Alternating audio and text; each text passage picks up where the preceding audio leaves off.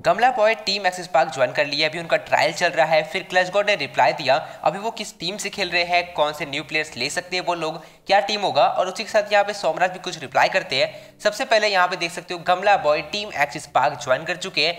ये सिर्फ़ Red Bull event के लिए है। मतलब ये अभी टेम्प्रेरी है, परमानेंट नहीं हुए हैं। अगर गमला बॉय का अच्छा कोऑर्डिनेशन बैठ जाता है टीम एक्सिस पार्क के प्लेयर्स के साथ तो मे भी वो फ्यूचर में परमानेंट ज्वाइन कर ले। बट अभी बस ट्राई आउट चल रहा है, एक तरह से बोल सकते हो। रेडबुल का इवेंट अभी एक एक दिन हो चुका है, फिर 14 को होगा तो भाई अभी टाइम है और जो स्क्रीम्स हो रहा है, उसमें यही लाइनअप की वो लोग प्रैक्टिस कर रहे हैं। एंड इसके बाद यहाँ पे आज clutch god Q N A कर रहे थे तो वहाँ पे देख सकते हो एक बंदे ने पूछा I need a trophy with your new team let's go clutch god तो लिखे new team is yet to be build but will make sure it will win some trophies मतलब अभी यहाँ पे टीम बनने में टाइम है ऑब्वियसली अभी यहाँ पे वो लोग अनाउंसमेंट आया है कि वो और सैडो एक न्यू टीम बनाने वाले हैं तो थोड़ा टाइम लगेगा प्लेयर्स का ट्राई चलेगा न्यू न्यू प्लेयर्स ट्राई करेंगे।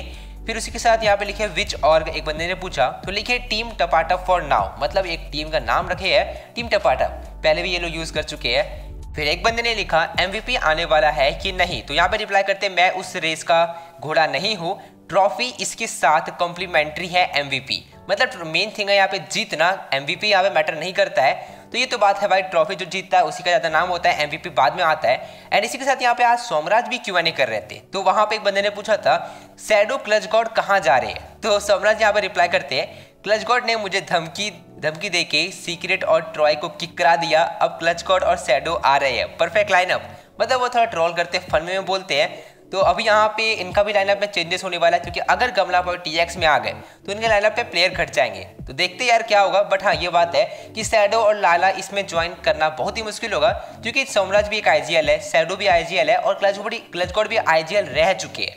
तो प्रॉब्लम आ सकता है बट कुछ भी हो सकता है। फिर एक बंदे ने लिखा, ये सब इतने सफल क्या और क्यों हो रहे हैं? तो यहाँ पर रिप्लाई करते हैं, सफल बहुत टाइम पहले ही होना था, अब जाके टूर्नामेंट से छोटा ब्रेक मिला है, अभी और सफल होना बाकी है। तो इसीलिए भाई मैंने आपको पहले ही बताया था कि अभी आपको पता है बीजी आई फिर इंडिया कोरिया फिर दो लैन इवेंट आ गया तो इसलिए सफल नहीं हो पाया बट अभी यहाँ पे ब्रेक है। बी आने वाला है तो उसके पहले बहुत सारा सफल देखने को मिलेगा।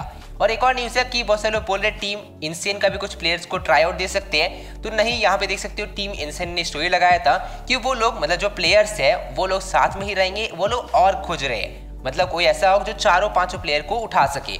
तो वो लोग अलग अलग नहीं जाएँगे। अभी के लिए देखते आगे क्या होगा। फिर एक बंदे ने सोमनाथ को लिखा, गमला बॉय टीएक्स ने पोच कर लिया क्या? तो यहाँ पर लिखते हैं, गमला बॉय महँगा प्लेयर है टीएक्स अफोर्ड नहीं कर सकती। अब ये फर्म में ट्रॉल करते हैं तो अभी यहाँ पे बस ट्राई आउट चल रहा है गमला बॉय का, देखते क्या होगा, उनका कुछ फिक्स नहीं है भाई अभी चेंजेस तो बहुत ज़्यादा मिलने वाला है, क्योंकि यहाँ पे आपको पता है बीएमपीएस आने वाला है, और एक और न्यूज़ है बीएमपीएस में कोई न्यू अंडरडॉग टीम इस बार नहीं आने वाली है, जो टीम्स खेल चुकी है, बोल सकते हो, जो यहाँ पे बी में सेमीफाइनल या फाइनल तक पहुँचे थे, जो प्रो टीम्स है। उनको ही यहाँ पे मौका मिलेगा। लेकिन बहुत सारे टीम्स है, मेजी ने बताया, इस बार ज़्यादा टीम्स होने वाली है तो जल्दी ही इवेंट स्टार्ट हो जाएगा और मज़ा आने वाला है। तो चलो यार, आज के इस वीडियो में इतना ही रखते हैं। वीडियो पसंद आया तो लाइक और सब्सक्राइब करके जाना।